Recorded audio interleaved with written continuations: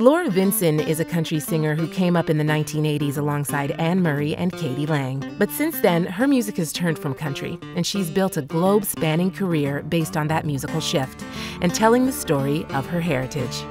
Vinson is a Metis songwriter of French Cree and English Cherokee descent who grew up in Brule, Alberta.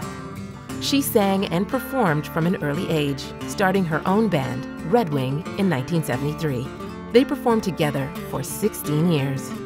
Between 1979 and 1985, Vinson was nominated for seven Juno Awards three for Most Promising Female Vocalist of the Year, and four for Country Female Vocalist of the Year. In the Country Female Vocalist category, she lost to Anne Murray almost every time.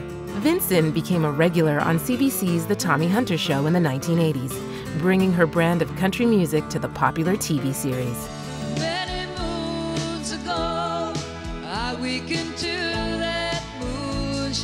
Spell.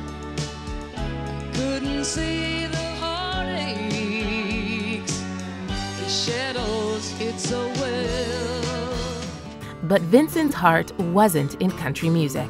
She told International Musician Journal in 2020, I never really fit into that mold. I finally realized if you don't really do what you believe in and be true to what you need to say, it's not what you want to do anymore. Her work as a social worker with Indigenous youth inspired what came next. Vinson started a new band with her husband, Dave Martineau, and his brother, Paul, called Free Spirit in the 1990s.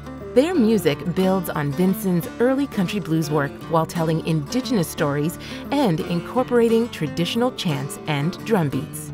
Vinson's touring production, The Spirit Sings, is the culmination of that work. Vinson has created her own mold, bringing the story of Canada's Métis to the world.